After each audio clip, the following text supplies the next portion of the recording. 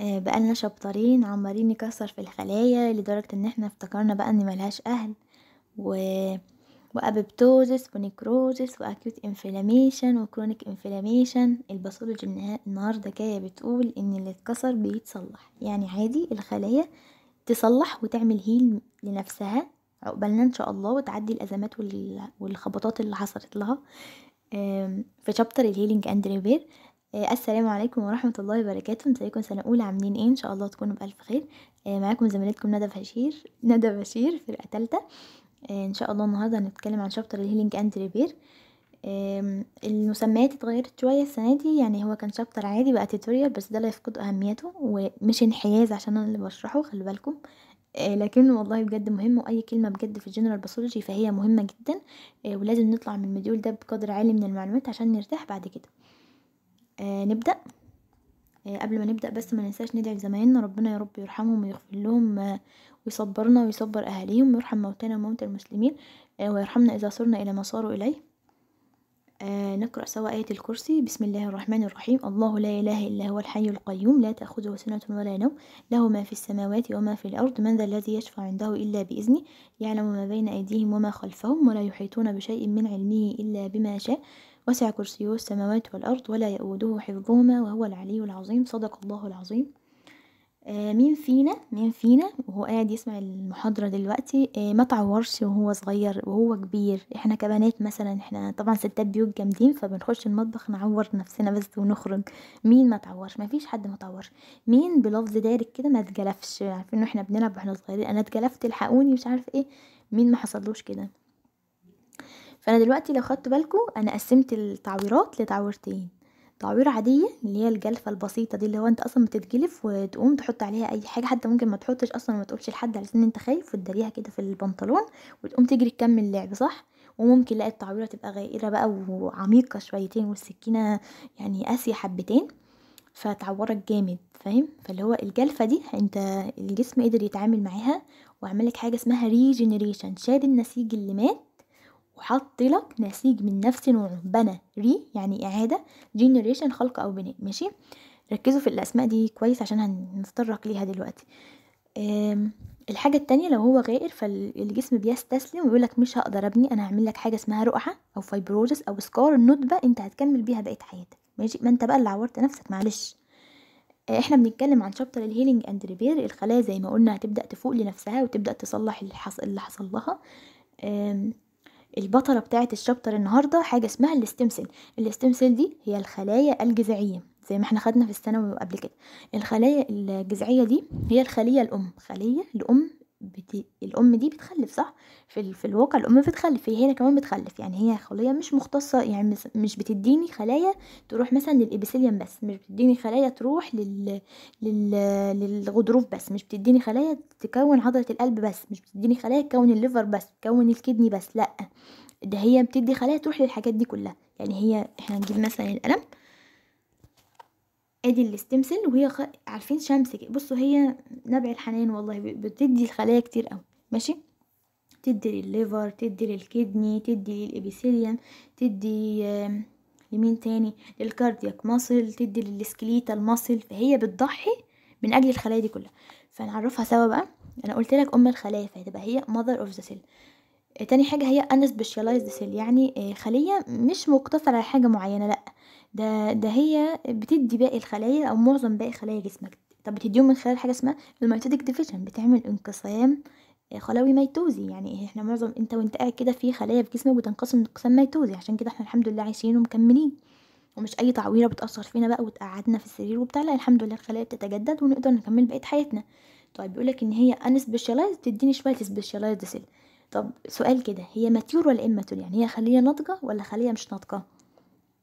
خلية ناضجة ليه بقى؟ هي مش ناضجة ده هي بتديني خلايا ناضجة. يعني هي واحدة مش مش مش مش مكتملة النمو ده هي بتديني خلايا مكتملة النمو تقدر تقوم بوظيفتها في المكان المحدد. يعني هي مثلا ال stem cell دي immature إدتني مثلا cell تروح لل cardiac muscle عشان ال cardiac muscle تتكون وتقدر تقوم بوظيفتها. تروح لل skeletal muscle عشان ال skeletal muscle العضلات الهيكلية تقدر تتكون وتقوم بوظيفتها. فاهمين؟ طيب آه يعني إيه repair؟ repair باللفظ الدارج بتاعنا عملية إصلاح. طبعا أبسط مثال خالص لو أنت راكب عربية والعربية دي مثلا حصل فيها اتبهدلت أو حتة اتكسرت أو بتاع فأنت بتروح محاود على الميكانيكي آه مثلا الكشاف اللي اتكسر. ينفع يروح يجيب لك حتة مثلا من الباب يحطها مكان الكشاف؟ لأ قطع الغيار بتبقى كل حاجة في مكانها لازم يجيب كشاف جديد تمام؟ فالريبير إن هو شالك الحتة القديمة رماها وحط واحدة جديدة من نفس نوعها. نعرف نقول الجملة دي بالإنجليزي؟ Replacement of the injured tissue replacement of the damaged tissue مثلا اللي هو بنبدل عملية تبديل النسيج التالف بنسيج آخر جديد من نفس النوع by new healthy one بنسيج آخر جديد. وشوية شوية هقولك إن لازم يكون من نفس النوع لازم من نفس النوع ما هو بالعقل حاجة بالعقل أوي. أنا ما ينفعش الكشاف اتضرب أروح أجيب حتة من الباب أو حتة من من, من التندة مثلا من فوق أو كده. ما ينفعش. الكشاف يبقى أحط كشاف. ماشي؟ نوع بقى ال repair أو ال heal أو الخلية إزاي بقى بتقدر تستعيد اللي حصل فيها عن طريق حاجتين إحنا قلناهم في المثال الأولاني اللي هو لما أنت اتجلفت ماشي؟ أو لما أنت اتعورت بسكينة فالتعويرة كانت غميقه أو عميقة شويتين ماشي؟ أول حاجة اللي أنت اتجلفت فدي حصل regeneration الجسم قال لك يا عم ده حاجة بسيطة سيبها عليا أنا هروح شايل لك الحتة اللي ماتت دي كلها شيل الجلد ده وهطلع لك جلد جديد. أنت في خلال يومين ثلاثة أسبوع أنت هتبقى زي الفل وأنا مش سايب لك أي علامة. بص يعني بجبي عليك ماشي؟ ال fibrosis لأ أنا. أنا ممكن أقعد أسبوعين ثلاثة شهر يعني أنا أخدت وقتي أهو في إني أصلح الدنيا. وبعد كده أنا هسيب لك scar أنا هسيب لك علامة أصلا. عارف اللي إيه؟ أنا هعلم عليك برضه. ماشي؟ فال regeneration replacement of injured tissue by the cell of the same tissue type مهمة جدا same tissue type دي. ويقعد بقى يستقلبها لنا في ال M ونحتار وبتاع. لا هي من نفس النوع. ماشي؟ replacement by connective tissue أو اللي اسمها fibrosis هنتكلم عن عنها تحت بالتفصيل وكل نوع هنتكلم عنه بالتفصيل. بيقول لك في حالة ال severe local damage زي ما إحنا قلنا السكينة كانت حامية قوي فعورتني قوي الجرح يعني إيه؟ مش على هواية أو الجسم استسلم ومش قادر. فبت heal by fibrosis وبتعمل لي حاجة اسمها scar formation بتسيب لي ندبه أو علامة اثار اللي هو يعني مثلا مثلا لو أنا اتعورت أو خبطة بسيطة أو اتجلفت في رجلي وأنا صغير دلوقتي اما أجي أبص على ركبتي مثلا هلاقي إن فيها لسه علامة؟ لأ استحالة. لكن لو اتعورت بسكينة بقى والتعويرة كبيرة وبتاع لأ ممكن ألاقي لسه لسه ليها علامة. ماشي؟ آه انت عمالة تقولي إن بنعمل regeneration وبنعمل fibrosis طب بناء على إيه أنا هعمل regeneration وبناء على يعني الجسم من نفسه كده؟ أقول لك لأ. بناء على حاجة إحنا قلناها برضو في المثال بتاع الجلفت وتعورت في تعويرة كبيرة. بناء على ال severity of tissue damage يعني ال tissue كله اتقطع وشكله وحش ولا ولا حاجة بسيطة فاللي هو أنا ممكن أعمل لها regeneration ونخلص ولا أنا مش قادر أعمل ال regeneration فألجأ لل fibrosis اللي هو تليف أحط connective tissue وأبني وبتاع وخلاص. ولا أنا ممكن أصلا أشيل القديم ده وأكون واحد جديد اللي هو regeneration إعادة خلق أو تكوين tissue جديد. تاني حاجة ال damaged cell أنا الخلية دي بتقدر تنقسم وتعمل regeneration ولا الخلية أصلا في في في البطيخ وما بتقدرش تنقسم ولا خلية أصلا ما بتنقسمش إلا تحت مؤثر؟ على حسب نوع الخلية. أول حاجة هنتكلم عنها انواع الخلايا إحنا جسمك الطويل العريض ده بينقسم أو بيندرج تحت ثلاث أنواع من الخلايا خلية اسمها labile دي خلية غير مستقرة يعني خلية م hyper ة و active بس مش ال hyper ة وال active اللي تقلق اللي تقلقنا يعني إيه؟ اللي هو مش مثلا في حالات ال cancer ربنا يعافينا ويعافيكم لأ هو ده هو ده طبيعتها عارف أنت؟ واحدة حد طبيعته إن هو نشيط قوي هو ده مش حاجة pathological يعني مش حاجة مرض لأ هو كده هو خلية كده بتنقسم بسبب وبدون سبب ماشي؟ في حاجة اسمها ال stable cell دي خلية عندها كاريزما وكرامة حبتين لو لو عورتني أنا هنقسم ما عورتنيش وما جيتش جنبي فأنا في حالي ومش هاذيك ماشي؟ ال permanent cell بقى لأ دي هي أصلا لو لو أنت اتقلبت قرد جنبها حرفيا طب بلدي مش هت... مش هنقسم أنا مش هنقسم زي مثلا ال cardiac مثلا عمرك سمعت إن حد اتعور في قلبه أو كده فاللي هو تاني يوم صحي لقى عنده قلب جديد؟ يعني, يعني عمرنا سمعناه؟ لأ. عمرك سمعت مثلا حد عضلته اتقطعت حد ال tendon اتقطع فيها أو ال nerve أو بتاع واتجددت يعني تاني يوم يا عم ابسط بقى ده طلع له عضلة دي ما عدتش على أذهاننا خالص خالص يعني. ونبقى عارفين قاعدة كده.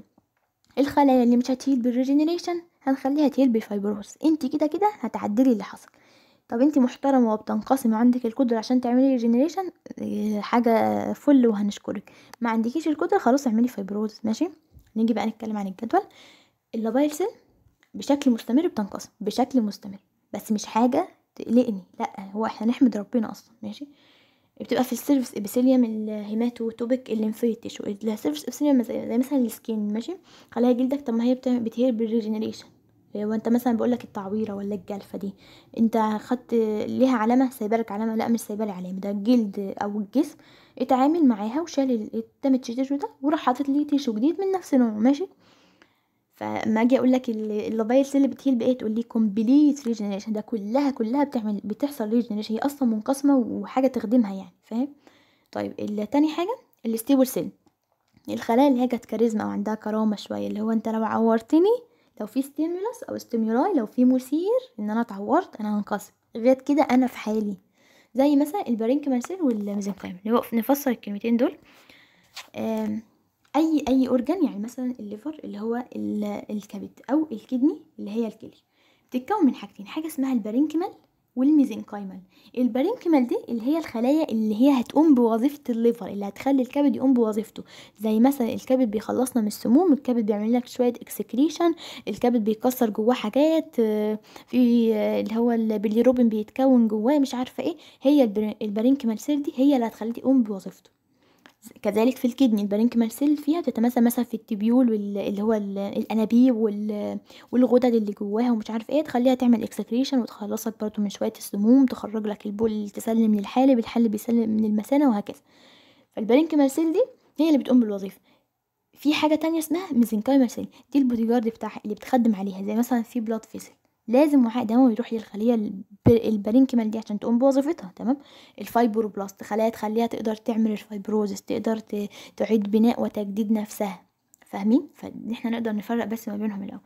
فبيقول لك إن ال parenchymal cell دي أو ال glandular organ موجودة في ال liver مثلا وال kidney. ال mesenchyme عرفنا زي ال fibroblast أنا ممكن ازود أقول أنا إيه؟ blood vessel. ماشي؟ آه بيقول لك إيه بقى؟ لو لو التعويرة في ال في اللي هي في مثلا ال organ اللي هو يندرج تحت ال stable cell لو التعويرة صغيرة فخلاص الجسم بيقول لك ما خليها عليا أنا هعمل لك regeneration لو كبيرة ما معلش أنا آسف مش هقدر أنت هتضطر تعمل fibrosis ماشي؟ يا رب إن شاء الله نكون فاهمين. الخلية اللي بعد كده اللي هي ال permanent cell اللي هي حالفة بالتلاتة ما هتنقسم حالفة استحالة أصحى الصبح ألاقي الشخص جدد عضلة القلب بتاعته ولا ولا طلع له عضلة جديدة ولا nerve جديد أو لا استحالة يعني. فبيقول لك not dividing cell in postnatal life. ليه قال postnatal مثلا؟ لأن إحنا إحنا إحنا حياتنا منقسمه prenatal و postnatal قبل ما تتولد وأنت في ال intrauterine life أنت في رحم والدتك و postnatal يعني بعد ما اتولدت فليه ما اقولش قبل ما اتولد لأن أنا أصلا قبل ما اتولد بيحصل لي شوية انقسامات كده انقسامات عادية خالص عشان تطلع شخص بقى إن شاء الله سليم معافى كده تقدر بعد كام سنة تواجه الحياة فاهم؟ فاللي هو بص أنت لا أنت خلاص أنت مش هتنقسم بعد ما أنت ولدت بعد بعد ما أنت اتولدت يعني فاهم؟ آه زي إيه بقى؟ زي ال nerve cell. قلت لك ال nerve cell يقصد يقصد بيها ال cell body يعني مثلا إحنا عارفين الخلية العصبيه مش الخلية العصبية نفسها. أنا عندي أهو ده ال axon. axon في الخلية العصبية. ماشي؟ وهعمل كده وكده وكده وكده مثلا وفي نواة وال Nissl granule خلايا Nissl معرفش كنا بنسميها إيه نسلة. وال dendrite بقى الزوائد. معلش نسامح بعض على الرسمة دي. فال nerve cell مقصود بيها دي ال cell body. ال axon بينقسم عادي وهنعرف ليه بينق... وبنسميه peripheral nerve peripheral يعني حتة طرفية كده بره هو بره اهو. ال cell body لا ده ال nerve cell نفسها. دي استحالة تنقسم. عشان كده إحنا كنا إن شاء الله في سنة تانية هتعرفوها في CNS إن الأمراض العصبية دي أمراض صعبة قوي. وال prognosis بتاع ربنا يعافينا ويعافيكم يعني بيبقى صعب لأن ما, ما بتتجددش. فاللي هو أنت عارف خلاص بقى الطوبه جت في المعطوبه خلاص أنت نصيبك كده. فاهم؟ ربنا يا رب يعافينا ويعافيكم. وقلنا برضو ال skeletal وال cardiac مثلا فهي مش بتقدر تعمل regeneration يبقى هت heal بإيه؟ بال fibrosis. بديهيه قوي ماشي؟ إن شاء الله تكون واضحة. هنتكلم بقى تاني حاجة عن ال severity of tissue damage يعني إحنا اتكلمنا أول حاجة عن ال type of cell قلنا هما ثلاثة ها؟ labile stable labile stable permanent labile stable permanent permanent ماشي؟ تاني حاجة بقى severity of tissue damage يعني أنا لما حصل لي التعويرة كانت كبيرة ولا صغيرة؟ طب كانت مرة واحدة ولا مرات متتالية فبهدلت لي جسمي ولا إيه؟ ماشي؟ نجيب القلم بقى عشان نقدر إيه نستوعب بيقول لك إيه؟ ثانية نظبط ال slide عشان نقدر نتكلم. بيقول لك إن أنت حصل لك injury أنت اتعورت ماشي؟ في حاجة اسمها cellular and vascular response يعني ده blood ده وعاء دموي.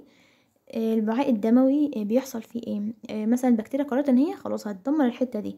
بيحصل فيه vasodilatation يبدأ يتمدد. آه اللي هو إيه كرد فعل طبيعي لل inflammation اللي حصل يحصل vasodilatation يعمل hyperemia يعني لونه يحمر والدم يتدفق إليه بشكل كبير جدا آه يبقى المنطقة حواليه red و hot و swollen red يعني محمرة hot يعني سخنة لو حطيت إيدك swollen منتفخة اللي هو بت- بتنبهك إن في مشكلة حصلت هنا ماشي؟ دي ال vascular أو ال cellular response. بيقول لك إيه بقى؟ لو ال damage present أو persistent persistent يعني مستمر يعني التخبيط أو ال injury مستمر ومكمل. فهي هتهيل بالفايبروزس هتهيل بالفايبروز ومديك مثالين على كده. ال cirrhosis وال pulmonary fibrosis cirrhosis ربنا يعافينا ويعافيكم تليف الكبد. ماشي؟ وال pulmonary آه، fibrosis اللي هو تليف في الرئة. ماشي؟ آه، فاللي هو لا التدمير مستمر وكبير فالجسم بيعتذر ويقولك مش هقدر أعمل regeneration إحنا هنستعيد عن ذلك بال fibrosis ماشي؟ طب لو لو لا لو في acute injury وإحنا خدنا الفرق بين ال acute وال chronic إيه؟ ال acute حاجة فجأة وإن شاء الله هتمشي فجأة يعني هتخلص. ال chronic لا حاجة جاية بالتدريج وبتكمل معايا شوية. ماشي؟ chronic يعني مزمن يعني بياخد زمن ووقت على ما على ما تخلص منه. بيقولك لو هي acute injury يعني ال stimulus جت وراحت مشيت فبيحصل ال parenchymal cells يعني الخلايا اللي هتقوم بوظيفتها ماتت. طيب لو في intact framework و damaged framework يعني إيه؟ يعني إيه أصلا framework إيه أنا ال framework بشكل بلغة عربية يعني إطار ماشي؟ أنا راجل بتاع pathology أنا شغلي كله مع الميكروسكوبات. أنا آه، في اليوم بيجي لي مثلا 20 30 حالة آه، عينة للل liver أنا عارف شكل ال liver الكبد تحت الميكروسكوب عامل إزاي ما تحاولوش تغيروا صورته في عيني. أنا شايفه فيه lobules و lobes كتير ومش عارف إيه أنا عارف ماشي؟ طب انت وعارف ان ال kidney فيها tubules و glandular tissue وبتاع أنا أنا متأكد. اما تيجي انت بقى تبص مثلا للعينة تحت الميكروسكوب فبتلاقي بقى إيه ال framework أو الإطار بتاعها الشكل مش مريح لعينك مش ده الشكل اللي انت واخد عليه. هو ده ال damaged framework لكن لو لقيته الشكل اللي انت واخد عليه اسمها intact framework فهمنا يعني إيه framework framework يعني إطار. إطار ماشي؟ بيقول لك لو ال damaged framework فاللي هو خلاص هو متدمر أصلا. فأنا هشيله وارميه وأحط framework جديد هبني أنا هعمل regeneration زي إيه بقى؟ ادوني أنتوا مثال كده. مثال زهقنا منه. ال superficial skin wound اللي هو الجلفة اللي بتحصل في في إيدك في رجلك في أي حاجة. وتاني حاجة ال liver regeneration after partial hepatectomy يعني إيه بقى؟ اللي هو آه، ربنا يعافينا ويعافيكم يا رب. الناس اللي هي بتكون محتاجة زراعة كبد فبيكون في متبرع المتبرع مش بيتبرع بال liver بتاعه كله مش بيتبرع بالكبد كله لا بيتبرع بجزء منه. فبيبقى partial partial hepatectomy يعني استئصال جزء من الكبد مش حتة صغيرة مش حتة آه، مش الكبد كله يعني. آه، فال partial ده انت بعد مدة بتاخد مثلا وقتك ست شهور ولا حاجة بيكون ال- ال liver بتاعك انت كمتبرع نما وكبر إيه إيه كبر يعني ورجع مش عارفة أنا بتاع لغه عربيه قوي آه، كبر ورجع لحجمه الطبيعي. آه، والتاني برضو اللي خد منك بيكون ال liver الجزء الفص اللي هو اخده منك بيكبر وينمو ك liver طبيعي وتقوموا بوظيفتكم أنتوا الاتنين. ماشي؟ فده regeneration هو ما عملكش fibrosis لا ده هو اتبنى من جديد ماشي؟ طب لو هي اللي انت لو ال framework كويسة خلاص أنا هبني عليها واعمل fibrosis وهكون connective tissue وبتاع. زي ال deep excisional wounds يعني لو الجرح غميق آه، عميق فاحنا قلنا هي heal بال fibrosis ماشي؟ ولو ال myocardial infarction ما قلتش إن ال my- لأن إحنا قايلين إن ال myocardial infarction ده يعني موت في عضلة القلب موت في ال cardiac muscle عضلة القلب. طب أنا ينفع أنا قلت إن عضلة القلب تندرج تحت أنهي نوع من ال cell ها اللي كانت آخر واحدة اسمها permanent عمرها ما تنقسم. عشان كده بت heal بإيه؟ كنا كاتبينها تحت ال fibrosis مهمة موت ال slide دي مهمة قوي ماشي؟ إحنا قلنا بقى عندنا إحنا قلنا إيه لحد دلوقتي نراجع قبل ما نبدأ في أنواع ال ال ال healing أول حاجة إحنا قلنا إن إحنا عندنا الخلية الأم اسمها ال stem cell وهي unspecialized cell خلية مش متخصصة هي بتبقى دي specialized cell متخصصة كل واحدة تروح تقوم بدورها في مكان ماشي؟ وبتنقسم عن طريق ال mitotic division وهي immature بتديني خلايا mature ال repair هو replacement of damaged tissue by new healthy وان لازم يكون من نفس نوع يبقى ده هنسميه regeneration لو حصل scar أو fibrosis أو ندبه أو بتاع فهدي نسميه fibrosis أو regeneration by connective tissue بنقسمها حسب ال damaged cell وال severity بتاع ال tissue damage ثلاث خلايا عندي labile stable permanent ال labile كده كده منقسمة على طول موجودة في ال epithelium في ال skin وبتعمل heal بال complete regeneration ال stable لأ كاريزما وك... وعندها كرامة حبتين لو عورتها هتنقسم ما عورتهاش هي ملهاش خلاص ملهاش أي رد فعل. إيه لو حبة صغيرين فهيعملوا regeneration لو حبة كتير تعويرة كتير فهنعمل fibrosis دي قاعدة بقى خليها في دماغك ماشي؟ بتبقى موجودة في ال parenchymal cell وال mesenchymal cell ال permanent cell استحالة تنقسم ماشي عددا جنبها مش تنقسم وبتهيل بالفايبروزس ونيرف سيل وسكيتال ماسل وكاردياك ماسل ماشي؟ وخدنا خلاص لو في injury فبيحصل cellular and vascular response vasodilatation hyperemia آه قلنا يعني المنطقة بتحمر والنتيجة لتدفق الدم الكتير. و red hot و swollen دي, دي لازم أحفظها في ال inflammation red hot و swollen red hot و swollen ماشي؟ على حسب لو ال persistent آه pers pers persistent persistence tissue damage ده بال fibrosis ماشي؟ لأن الخبطة كتيرة والجسم اعتذر قالك مش هقدر أعمل regeneration طيب لو هو ال acute injury يعني إيه خلاص خبطة مرة واحدة وخلاص بقى راحت لحالها الاستمرار يروح لحالها فكده كده هيحصل parenchymal cells. بس على حسب ال intact بتاع ال framework intact ولا damage لو intact آه ماشي أنا هعمل fibrosis وأبني عليه. لو damage لأ فأنا هشيله وأعمل regeneration عرفنا الأمثلة؟ نعرفها يعني إن شاء الله. ما تكونش موضوع أسئلة بس نعرفها.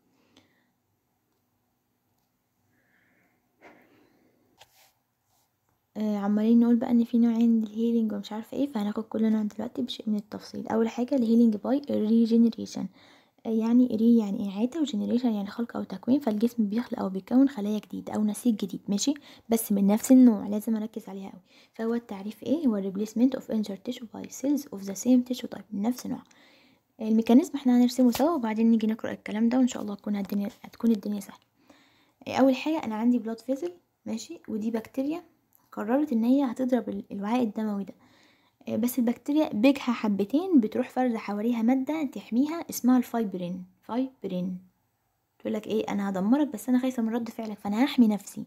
بس إحنا الحمد لله عندنا immune system جهاز مناعي آه الخلايا الليمفاوية فيه قاعدة كده مترصدة علشان أي جسم غريب بيدخل هنقضي عليه فتيجي حسب بالفعل بالفعل حاجة اسمها ال neutrophil أو ال polymorph nuclear lymphocyte polymorph nuclear lymphocyte polymorph يعني شكلها متغير أو النواه واخدة أشكال متغيرة فيها. polymorph nuclear يعني النواه بتاعتها أشكالها مش نفس الشكل متغير ماشي؟ و lymphocyte عشان هي أحد أنواع ال lymphocyte تروح جاية عاملة إيه بقى؟ مدمرة البكتيريا وفارزة إنزيمات تكسر الفايبرين اللي حواليها. اللي هو أنا مش بس هسيبك أنت أنا مش أنا هدمرك بس أنت ده أنا هدمرك أنت واللي أنت فرزتيه.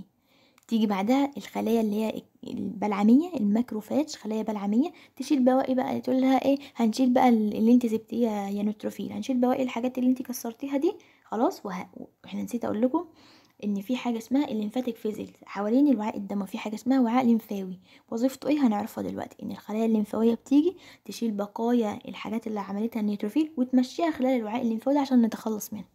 ماشي؟ بعد كده ال epithelium خلاص بقى هيفهم ان إن أنا لازم أنقسم وأتجدد وأعمل regeneration يبقى نعيد تاني البتاع بالتوضيح أكتر. أنا عندي blood vessel والبكتيريا قررت إن هي هتدمر الحتة دي وفرزت حواليها فايبرين وأنا عندي حاجة اسمها ال lymphatic آه أول حاجة هي فرز الفايبرين فهتيجي ال polymorph nuclear lymphocyte أو ال neutrophil هتكسر البكتيريا والفايبرين اللي حواليها. تيجي بعدها ال macrophage. تشيل ال residual body أو الحاجات اللي باقية من عملية التكسير دي وتمشيها خلال ال lymphatic vessel تخرج منها على ال lymph node المجاورة ليها ونتخلص من الجزء يعني ده. آه بعد كده ال epithelium هيفهم إن الحتة دي خلاص حصل فيها قطع وبتاع فأنا مطلوب مني الخلايا بتاعتي تنقسم وأعوض القطع اللي حصل أو الخبطة اللي حصلت بعمل حاجة اسمها regeneration أنا هبني cell أو نسيج في الحتة دي بس من نفس النوع اللي وقع. نقرأ سوا والدنيا هتبقى سهلة خالص يعني. بيقول لك أول حاجة ال neutrophil بتيجي تعمل phagocytosis يعني بتبتلع أو تاكل وتكسر ال causative bacteria البكتيريا المسببة إن هي تكسر الحتة دي في الوعاء الدموي. تاني حاجة البي ان ال بي ان ال اس ده ال polymorphic nuclear lymphocyte اكتبوها ورايا polymorphic nuclear lymphocyte هي نفسها ال neutrophil حتى عاملينها بنفس اللون. ماشي؟ بتفرز انزيمات وتكسر الفايبرين ده وتحوله لمادة سائلة.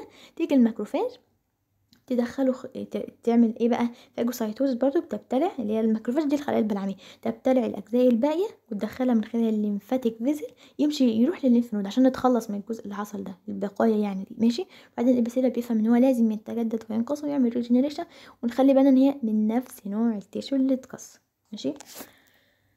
آه ناخد بقى شوية أمثلة على ال regeneration أول حاجة regeneration of the skin بس إحنا قبل ما لما نتكلم لازم نعرف إن الجلد عندنا بينقسم لثلاث حتت epidermis dermis subcutaneous tissue.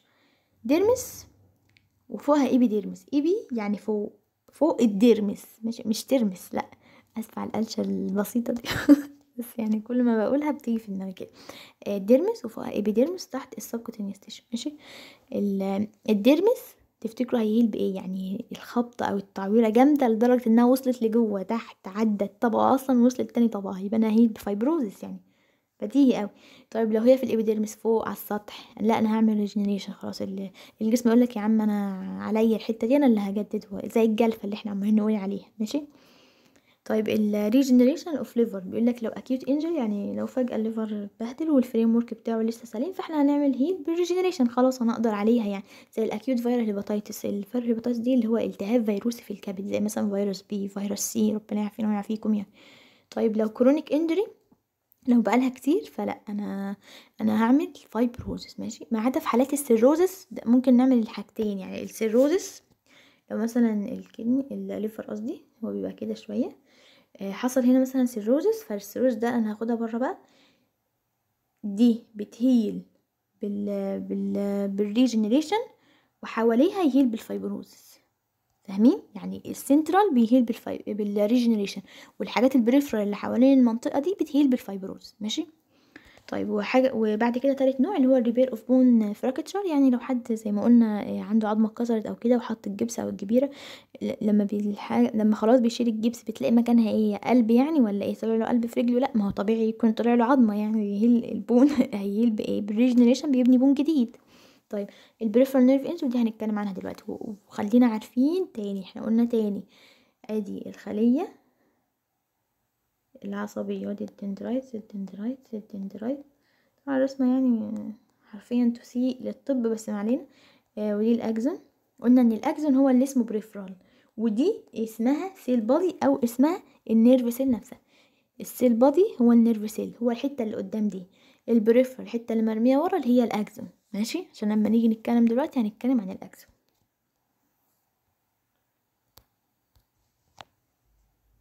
آه ده شكل الهيلينج اللي بيحصل في الليفر. ماشي؟ إحنا بنتكلم هنا على الشمال. آه مديك شكل النورمال هيباتيك لوبيول. اللوبيولز اللي بتتكون منها الليفر يعني ده الشكل النورمال اللي انت كواحد باثولوجي آه بتاع باثولوجي يعني عينك واخدة عليها تحت الميكروسكوب كمان ده تمام؟ بيقول لك لو الانجري حصل للسيل بس فخلاص هيحصل بروفريشن عملية انقسام وتمايز وبتاع وهنعمل ريجنريشن الجسم قدها يعني. لو حصل للماتريكس كمان المادة اللي حواليها بقى والشكل متغير والفريم ورك اتدمر فأنا لازم أعمل فايبروزس ههيل بالفايبروزس إن أنا هكون سكار مش قادر أعمل ريجنريشن فلازم لأني مثلا الموضوع كبير اللي هو مش على قد السيل بس ده حوالين على قد الماتريكس كمان خدت الأجزاء اللي حواليها كمان الأجزاء الخارجية بتاع الليفر يعني. فاللي هو لأ أنا لازم أعمل فايبروز ماشي؟ دي شكل بريفرال نيرف دامج فاحنا إيه هنتكلم بس عنه الأول آه وبعدين آه نرجع للرسمة يعني إن شاء الله. آه نرسم الرسمة اللي إحنا بقينا شاطرين قوي فيها. ماشي؟ معلش سامحوني بجد على الرسمة. ماشي ودي وننزل بالأكزون. ويبقى فيه بقى شوية دندرايز وزوائد كده من تحت. وهنا في نيوكليوس وفي حاجة اسمها نسل جرانيولز نسل جرانيولز ودي نواة. ودي برضو جي يعني معلش. آه نسل جرانيولز ماشي؟ هي هي نكتبها تحت. آه وادي الأكزون. الأكزون أهو. بيقول لك إيه بقى؟ إن الهيلينج أو الريبير بتاع البريفرال نيرف انجري ده بيحصل في خلال 3 أسابيع. الرقم مهم اكون عارفاه. يعني في خلال 3 أسابيع خلاص الخبطة اللي حصلت فيه أو القطع ده بي... الأكزون بيتجدد ونقدر إحنا قلنا بقى البريفرال عايد على الأكزون لازم أعرفها ماشي؟ اللي بيقدر يقوم بوظيفته تاني. عن طريق إيه بقى؟ أول حاجة أنت لما بيحصل خبطة أو أو دامج في ال في ال في الاكزون ده بيحصل إيه بقى؟ أول حاجة النسل جرانيولز دي بتتقمص وتختفي. بتتقمص وتختفي. والنيوكليوس بتتقمص هي كمان وتروح للطرف تبقى اكسنتريك على فكرة أنا رسمها للطرف قصدا يعني هي كده يعتبر ناحية الطرف. هي المفروض ان هو تبقى في الطبيعيه كده. في في النص يعني سنتر لا دي اسمها اكسنتريك اكسنتريك يعني في الطرف. استنوا. اهي دي معمولة بنفسجي دي. وبعد كده بيحصل سويلنج السيل بادي اللي فوق ده بيتنفخ الخلايا بتقمص وتروح ما نلاقيهاش والنيوكليس بتروح ناحية الطرف. ماشي؟ تمام؟ تمام. تيجي الشوانسل والماكروفاج يشيلوا بقايا. الديجراديشن أو بقايا التكسير أو التقطيع اللي حصل ده خلاص بيتخل... بيخلصوا لنا منه وبعدين الشوان سيل بتدرك إن هي عليها إن هي تنقسم وتعمل بروفريشن من الديستال للبروكسيمال والعكس يعني تمشي كده وتمشي كده فوهي ماشية كده بتعمل لي حاجة كده كده كده اسمها نيورال تيوب النيورال تيوب دي بتتكون على الأكسون ويطلع حواليه حاجة اسمها المايلين شيز شيس غشاء مايليني ك يعني كحماية للاكسون كحماية وتدعيم وقوة للاكسون فهو كده خلاص الاكسون اتكون بشكله الطبيعي. بصوا فاكرين الشكل ده؟ شكل كنا بنرسمه إحنا في في الإعدادي والثانوي شوان سيلو حواليها مارينشيز شوان سيلو حواليها مارينشيز الشكل ده بيتكون تاني إن شاء الله في عملية الإصلاح زي ما أنا قلت لكم كده. فاهمين؟ يعني ده هو النيورال نيورال تيوب اتكون ده الاكسون وفوق المايلين شيس أهو. فالاكسون خد شكله الطبيعي خلاص ويقدر يقوم بوظيفته تاني. ماشي؟ يبقى البريفرال نيرف انجري أو دامج ده أقصد بيها الاكسون بيحصل العملية دي في خلال قد إيه؟ الهيلينج بتاعه بيحصل بيحصل في خلال قد إيه؟ تلات أسابيع. بيحصل اللي بيحصل سويلنج للسيل بادي الحته اللي فوق النسل جرانيولز بيحصل لها دي جنريشن ما بلاقيهاش بتختفي. وال nucleus بتحصل بتبقى eccentric يعني للطرف. ال Schwann cell وال وال macrophage بتعمل engulf يعني بتشيل بقايا عملية التكسير ديت. وبعدين ال Schwann cell بتقدر ان لازم يحصل لها proliferation لازم أنقسم بقى عشان أعوض اللي حصل. وأروح عاملة neural tube حوالين ال axon وأطلع ب neurolemmal sheath أنا كده خلاص ال axon تمام تقدر تقوم بوظيفتك. العملية دي خلال قد إيه؟ بصوا أهي تلات أسابيع. مهمه قوي مهمه قوي تلات أسابيع. ماشي. آه لما تعرف ان لسه هتكمل. آه إحنا ممكن نراجع السلايدين دول ونعفو عنكم وتقوموا خمس دقايق أو عشر دقايق كده تجيبوا كوباية شاي تشربوا حاجة بتاع. وتيجوا تكملوا. بس ما تسيبونيش متعلقة على اليوتيوب آه ساعتين وثلاثه وبعدين تيجوا تكملوا. ماشي؟ إحنا قلنا إيه؟ آه قلنا ال healing by regeneration اللي هو الجسم بي بيعيد بناء أو خلق خلايا جديدة آه فاللي هو آه يعني إيه replacement of injured أو damaged tissue by cells of the same type نفس النوع. قلنا ال neutrophil بتعمل جزئية قلنا حوا إيه أنا عندي blood vessel خلاص في بكتيريا وفرزت حواليها الفايبرين عشان هي بجحة حبتين. تيجي ال neutrophil ما خلاص هتحطم أملها دي وتشيل البكتيريا وتدمر اللي تفرز انزيمات تدمر الفايبرين اللي هي كونته تيجي ال macrophage تبلع وتشيل البقايا اللي حصلت. آه بتاع ده. وتوديهم بقى من ال lymphatic vessels لحد ال lymph node اللي جنبها. وبعدين ال epithelium cell بيبدأ يحصل له proliferation وانقسام ومش عارف إيه ويعمل regeneration تمام؟ وقلنا أمثلة على كده ال skin لكن لو في ال epidermis الطبقة اللي فوق فدي هيحصل ها بالايه بال regeneration لو الجرح عميق ونزل لتحت فلازم أعمل fibrosis وال liver عرفنا ال acute وال chronic وقلنا لو bone fracture فلازم أهيل ب bone. وال peripheral nerve أهو نتكلم عنه. آه بيحصل في خلال 3 أسابيع. النواه بتبقى eccentric دي مهمة قوي. وال granules بتاع بيح... ال Nissl ال granules وال cell body نفسه بيحصل له إيه؟ swelling بينتفخ. وفي خلال 48 ساعة المايلين وال... والاكسس بتتدمر هي كمان فتبدأ ال Schwann cell وال macrophage تشيل نتائج التدمير دي وبعدين تيجي ال Schwann cell تنقسم. يعني بصوا يعني إيه من distal ل proximal نوضحها كده كده يعني عكس عكايس ماشي؟ بحيث تعمل حوالي وهي ماشيه كده بتعمل neural tube على ال axon ويطلع فوق ب myelin sheath. ويقدر ي... كده خلاص كونا axon سليم يقدر يقوم بوظيفته ماشي؟ آه ممكن ماشي ممكن نفصل حبتين وبعدين تيجوا ماشي؟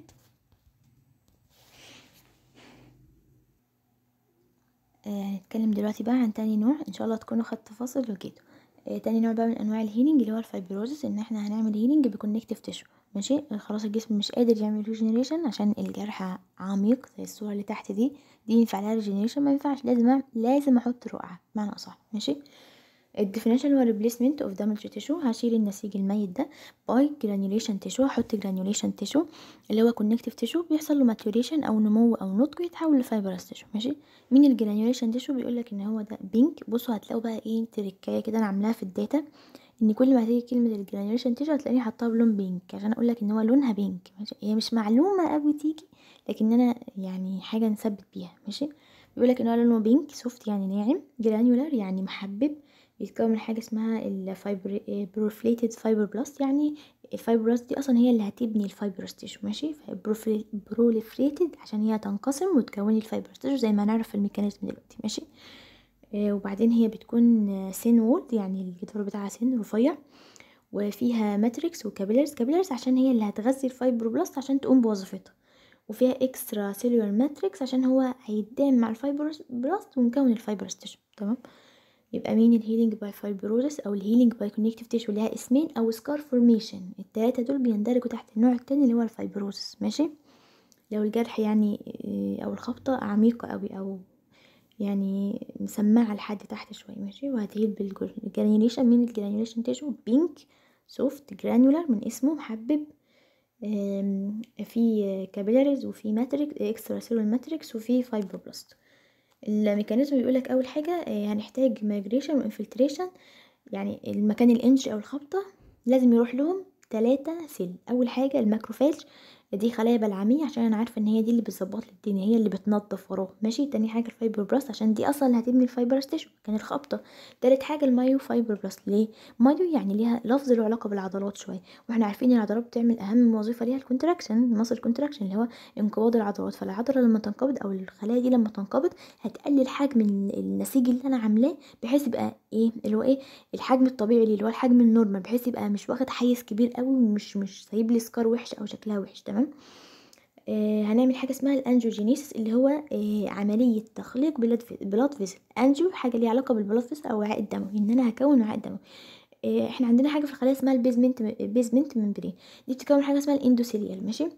ال endothelial هو ده اللي جواها ال blood vessel اللي هي هيطلع منها ال blood vessel فبيقول لك أول حاجة basement membrane degeneration of parent vessel تاني حاجة ال migration of endothelial ال endothelial هتهاجم من ال basement membrane تالت حاجة هيحصل لها proliferation و maturation يعني هتنقسم ويحصل فيها نضج ويحصل canalization يعني هتبدأ بقى إيه تاخد شكل قناة وتتحول لتصبح وعاء دموي. ماشي؟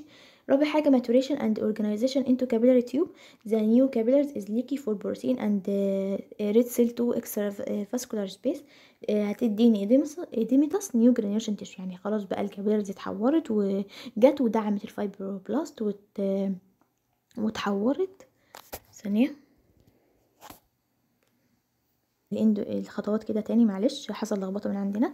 ال endothelial cell هتعمل migration من ال basement membrane آه هتروح عاملة proliferation و maturation هي تنضج وتكبر وبعدين تكون لي حاجة اسمها ال edematous granulation tissue ماشي؟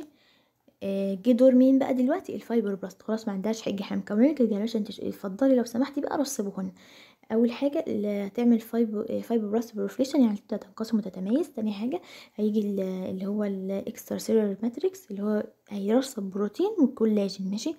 نعرف معلومة كده لينا إن الكولاجين ماشي ده نوعين نوع واحد ونوع تلاتة. نوع واحد ده dense بيكون جامد. فأنا هلاقيه في المرحلة الأخيرة من التئام الجرح ماشي؟ لكن رقم تلاتة ده طري آه loose آه loose طري. فأنا هلاقيه في أول الجرح لسه ماشي؟ فأنا عشان لما أجي أقول لك خلاص ال healing by fibrosis بيكو... كده النسيج اللي طلع بيتكون من إيه؟ ما تقوليش type تلاتة collagen type 1 عشان ده آخر في آخر المرحلة ماشي؟ عشان كده بنتكلم على السطر اللي تحت. آه بيقولك بقى بعد خلاص إحنا عملنا ال fibroblast جت وترسبت ال matrix والبروتين ومش عارفة إيه والكولاجين. بيقولك حاجة اسمها remodeling يعني عملية بقى ان إحنا هنصلح اللي حصل هنشوف بقى إيه اللي ما بقاش له لازمة فاعمل له regress اللي هو اخليه ينكمش ويضمر إيه اللي لا لازم اخليه مكمل إيه اللي اغير نوعه وهكذا. أول حاجة ال maturation and reorganization of connective tissue to form scar ال connective tissue بيكبر ويعمل fibrous tissue أو scar ماشي؟ فكده دي علامة إن هو هنا healing بال fibrosis تاني حاجة ال newly formed capillaries regress gradually يعني ال capillaries خلاص راحت تغذي ال fibroblast عشان تقوم بوظيفتها خلاص ما بقاش ليها لازمة خلاص إحنا مش عايزينك فانكمشي بقى واضمري بشكل تدريجي تاني حاجة ال fibroblast deposit some amount of extracellular collagen forming granule tissue then become inactive. يعني خلاص الكولاجين انت رصبتيه إحنا خلاص مش عايزينه إضمر وخليك inactive خلاص مش عايزينك. ماشي؟ ال fibroblast هي نفسها اللي بتبقى inactive. إحنا خلاص مش عايزينك. انت رصبتي الكولاجين والبروتين خلاص مالكيش وظيفة تاني. اضمري تمام؟ تالت حاجة البتاع ده ال contraction of granulation tissue through the effect of myofibroblast فوق قلنا لك لازم ثلاث خلايا يجوا ال macrophage وال myofibroblast وال fibroblast. قلت لك ليه بنجيب ال myofibroblast عشان بتعمل contraction فتقلل حجم ال tissue اللي بيتكون يوصل بشكل إن شاء الله لحجمه الطبيعي. ماشي؟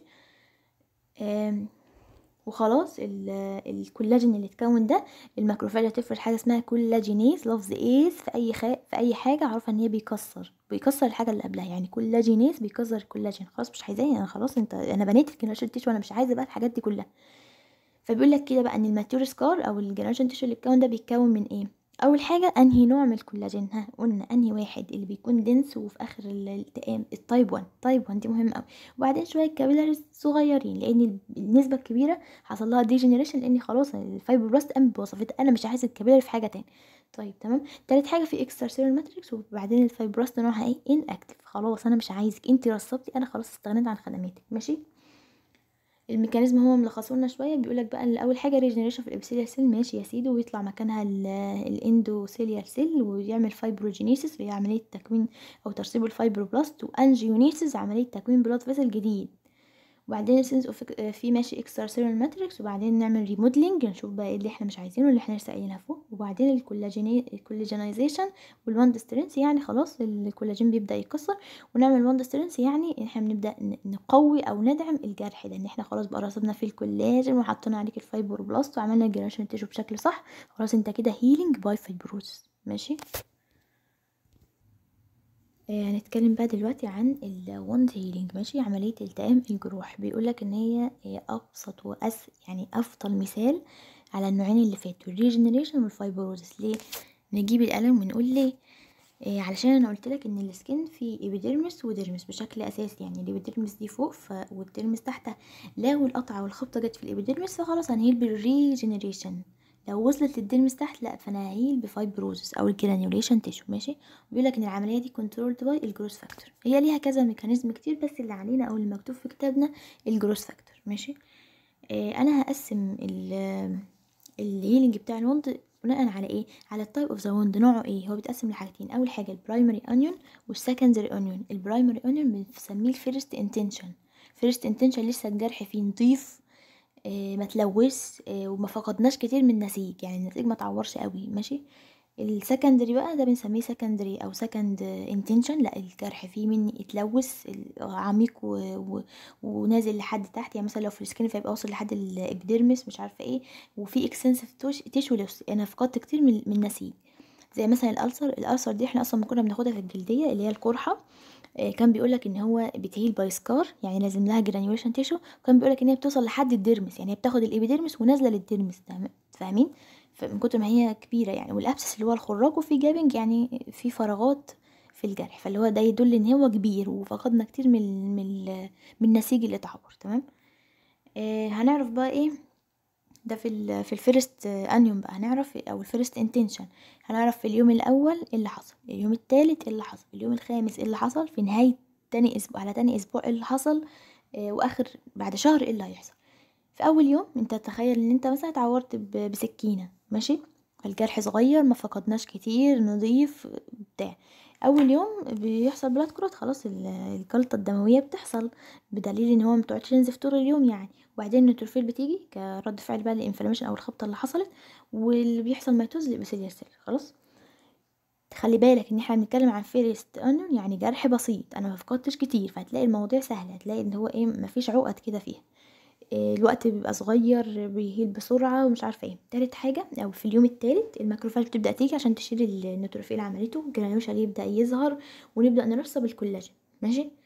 اليوم الخامس ال granulation خلاص اترسب وال scar دي اتملت بال granulation tissue وخلاص ال epidermis بيبدأ ياخد وضعه الطبيعي وسمكه الطبيعي. لأن الجرح زي ما قلنا مش عميق قوي مش واصل لتحت قوي لأ دي حاجة بسيطة. تمام؟ clean ويعني minimal tissue ماشي؟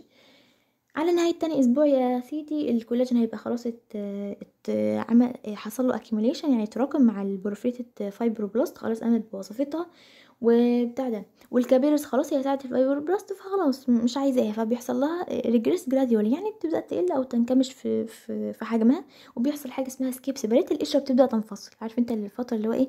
بتبدأ ان انت تقشرها. عارف اللي هو الميم بتاع الصفائح الدموية اللي هو يا غبي يا غبي أنا ما صدقت عملت القشرة يعني فأنت بتبدأ تقشرها. ماشي؟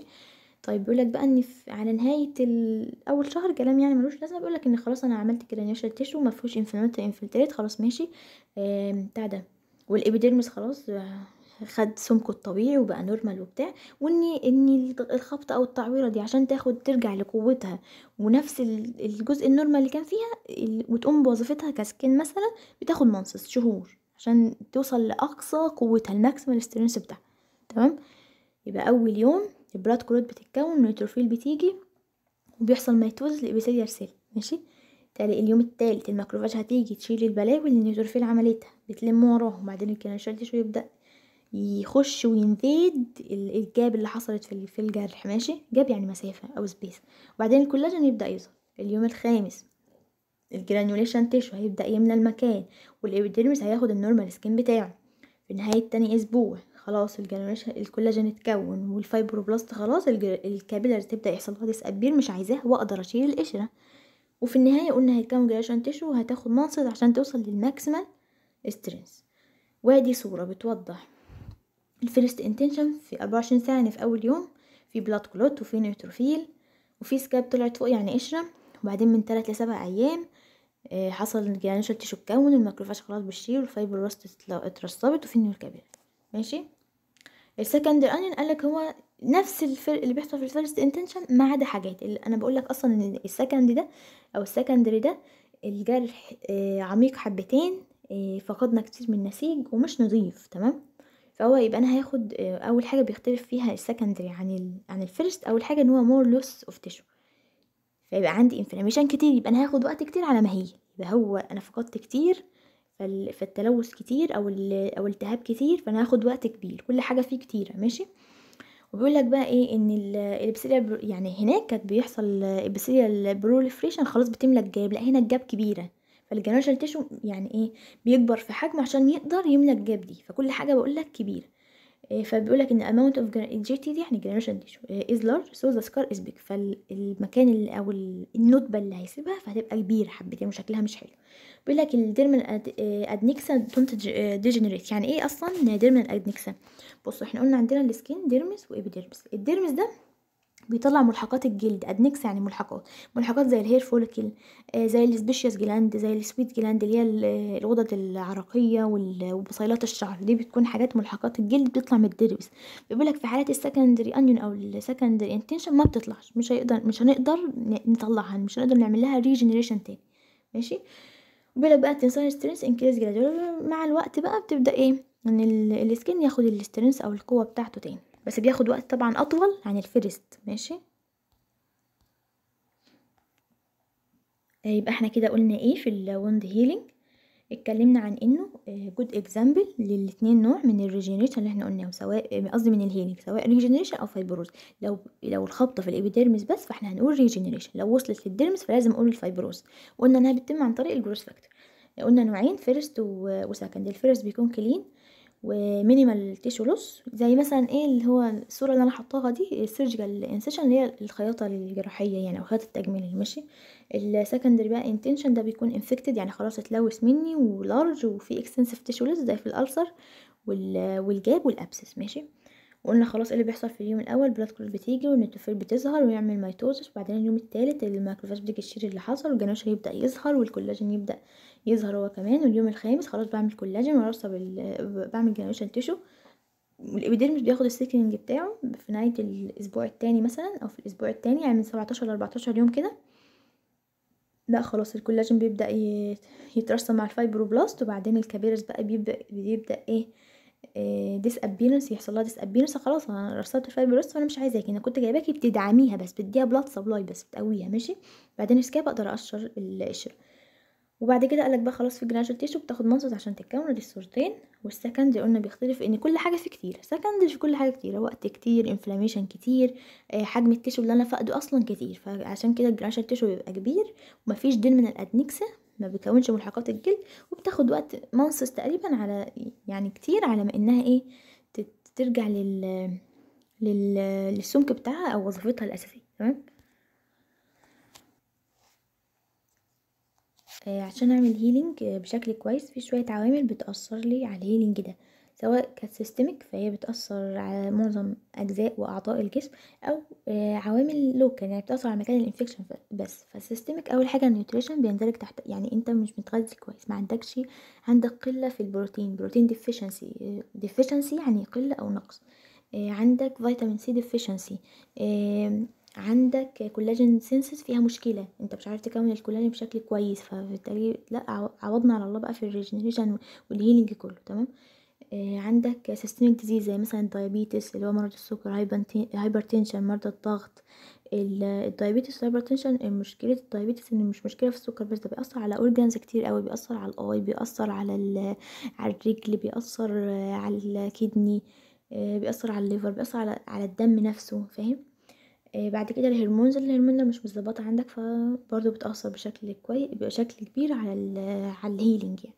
بعد كده ال circulatory status يعني انت أصلا تدفق الدم في جسمك مش ماشي بشكل كويس. فاللي هو أنا بقولك أصلا من شروط إن أنا أعمل healing إن لازم يكون عندي capillaries عشان تغذي وتدعم ال fibroblast اللي بترسب ال granulation tissue فأنت أصلا الدنيا عندك مش كويسة في في الأوعية الدموية وبتاع فأنت مش قادر تكون ال capillaries دي. أنت مش في ال fibroblast مش هتقوم بوظيفتها تمام؟ آه local بقى لأ دي بتأثر على مكان ال inflammation بس زي مثلا لو في infection لو انت عندك عدوى من حاجة معينة لو في بكتيريا معينة زي ال foreign body مثلا ده جسم غريب فيه فيروس بكتيريا آه protozoa أي حاجة موجودة جوه جسمك آه مش مخلياك جسمك يعمل healing بشكل كويس ماشي؟ أو ال size أو ال location أو ال type بتاع ال wound فإحنا مقسمينها first و second ممكن أنا أزود حاجة بقى إحنا قلناها في أول محاضرة خالص اللي هي إيه؟ ال type بتاع ال cell damage يعني اللي هي ال labile كانت بت heal by regeneration complete regeneration ال stable كانت بت heal على حسب. لو سمول هتعمل regeneration لو large هتعمل fibrosis وكانت ال permanent كانت بت heal بال fibrosis تمام؟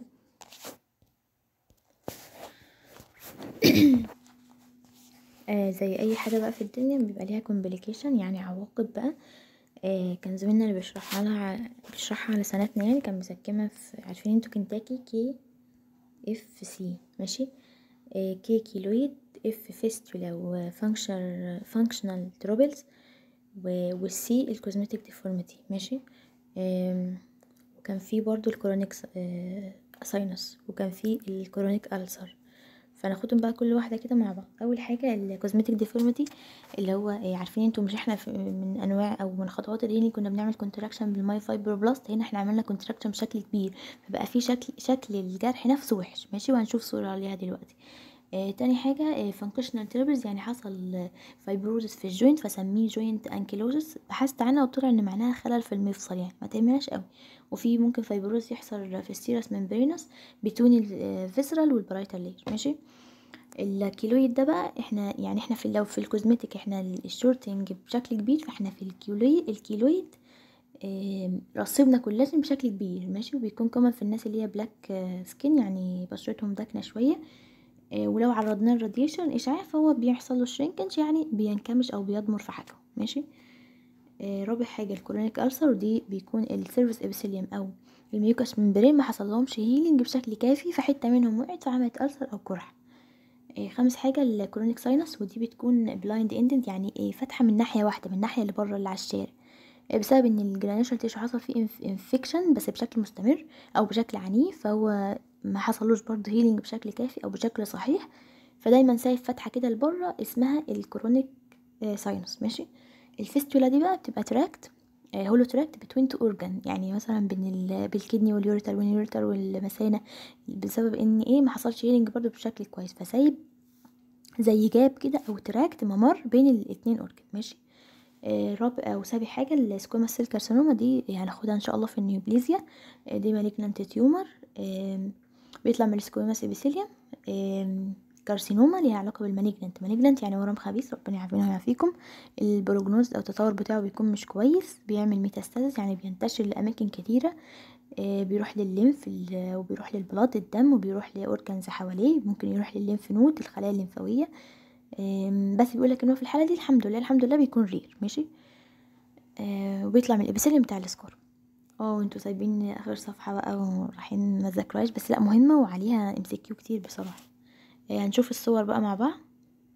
الاي دي نجيب القلم. الاي دي الفتحة من ناحية واحدة في اللي هي sinus ماشي؟ هنا اتنين hollow tract يبقى دي اللي هي fistula. آه ونسيت أقول لكم إن أصلا في العموم ال fistula دي آه ممكن تكون أصلا بسبب خطأ يعني جراحي خطأ من الجراح نفسه ماشي؟ يبقى إحنا قلنا إيه هي ال complication اول حاجة ال cosmetic deformity. يعني شكل الحاجة في ال cosmetic أصلا حاجة ليها علاقة بالتجميلية والجمال والحاجات ده. فهو شكل الجرح نفسه مش حلو عشان حصل shortening excess يعني excessive shortening في الكولاجين. ماشي؟ تاني حاجة ال functional وقلنا لو بيحصل joint ankylosis وبعدين fibrosis بقى في ال serous membranes بين ال viscera وال parietal layer ماشي؟ مش مهم قوي بيحصل keloid رسبنا collagen بشكل كبير بيكون common في الناس ال black آه بيحصل له شرينكج بالايه بال بالراديشن ال إيه تاني يا ربي؟ آه ال الساينس بتكون من ناحية واحدة فتحة واحدة آه وبتبقى بلايند اند يعني واحدة. ونتيجة ال- اللي هو بريزنت انفكشن في الجي آه في الجي تي اللي هو الجنريشن تيشو البي ساينس خلاص والفيستولا من ناحيتين. والسكويموس سيل كارسينوما قلنا إن هي بتبقى حجرية ماشي؟ آه إحنا كده خلصنا ال chapter الحمد لله الحمد لله. آه هنرجع عليه بس مراجعة كده صغيرة نفتكر ماشي؟ آه يعني إيه healing and repair يعني الخلايا هتبدأ تصلح آه الخبطة أو القطع اللي حصل لها يعني إيه مين البطلة هنا طول ال chapter؟ اللي هو ال stem cell مين ال stem cell دي خلايا جذعية أم الخلايا. unspecialized و immature unspecialized تديني specialized اللي بتروح في مكانها تقوم بوظيفتها. immature يعني مش ناضجة بتديني خلايا ناضجة ماشي؟ آه ال repair دي عملية replacement يعني عملية تبديل لل damaged tissue by new healthy one وفي لو في لو regeneration هنزود بس اللي هو يكون of the same type يعني من نفس النوع. ال fibrosis أو النوع التاني ال healing by connective tissue أو scar formation ده لو الجرح عميق وأنا مش قادر أعمل regeneration ماشي؟ بناء على إيه بعمل ال repair على حاجتين ال damaged cell أو severity of tissue damage ال damaged cell آه ال cell جسمي بي- بيندرج تحت ثلاثة أنواع من الخلايا يا إما labile يا إما stable يا إما permanent ال labile دي أصلا كده كده بتنقسم يبقى بت heal ب complete regeneration زي ال surface epithelium زي ال skin الحاجات دي أو ال lymphoid tissue ال stable cell لأ لازم يكون يعني إيه response stimuli لازم تكون ليها stimulus هي اللي خلتها تنقسم.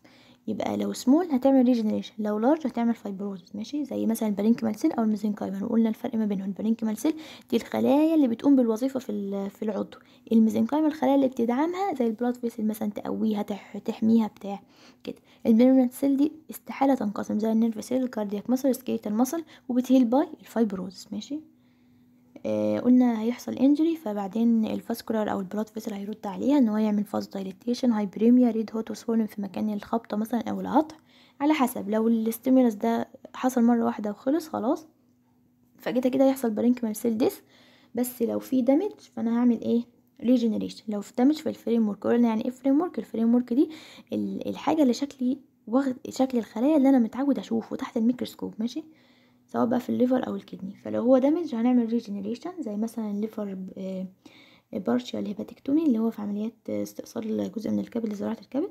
وبعدين ال superficial skin wound اللي هي ال- التعويرة البسيطة اللي إحنا كلنا بنتعورها دي.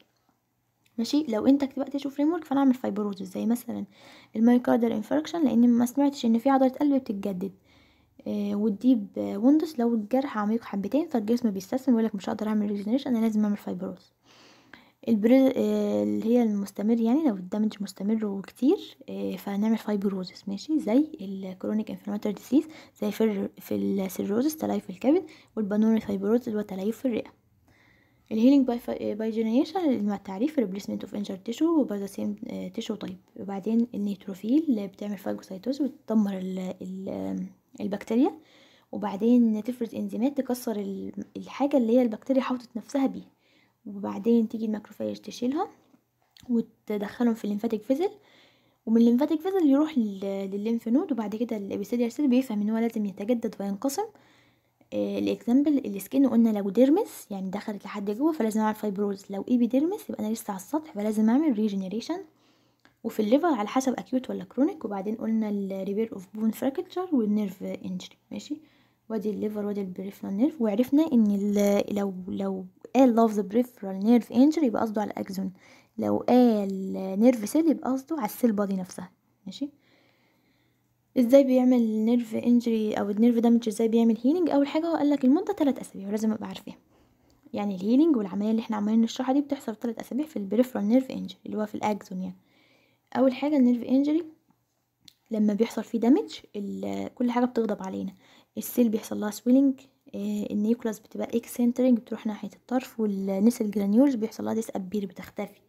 بعد كده في خلال 48 ساعة آه ال axon بيحصل له برضه degeneration وال myelin sheath اللي عليه بيتكسر.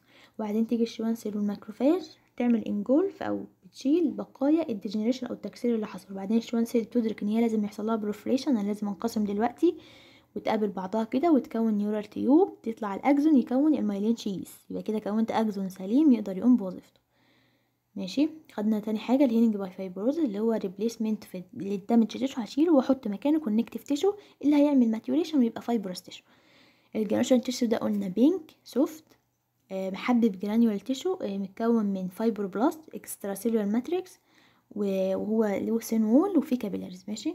ال mechanism قلنا يحصل migration و infiltration يروحوا لحد مكان ال injury. أنهي ثلاث خلايا؟ macrophage عشان بتشيل وراهم. ال myofibroblast عشان تعمل contraction وال fibroblast نفسها هي اللي هترسب ال granulation tissue بعد كده هنكون وعاء دموي جديد هيخرج ال endothelial cell هتخرج من ال basement membrane هتبدأ تنقسم. وبعدين تكون لي حاجة اسمها edematous new granulation tissue وادي الصورة هي عندنا قدامنا. ماشي؟ ال fibrogenesis اللي هي ال fibroblast هي تبدا تحصل لها proliferation تتميز وتنقسم وبعدين بيتكون من extracellular matrix وهترسب من بروتين وكولاجين. ماشي؟ وبعدين كده إحنا كده خلاص وظيفتها اكتملت. هنعمل remodeling هنبدأ نعدل على الحاجات اللي حصلت يعني لو عندي capillary اعمل لها regress gradually هقول لها خلاص انت وظيفتك انتهت واخلي شوية منهم صغيرين آه بتاع ده. في النهاية هيبقى عندي أنهي كولاجين أنهي type type واحد لأن type ثلاثة اللي بيكون بأول في أول الجرح بيكون loose يعني طري لكن type واحد dense جامد فده اللي أنا عايزه في الآخر.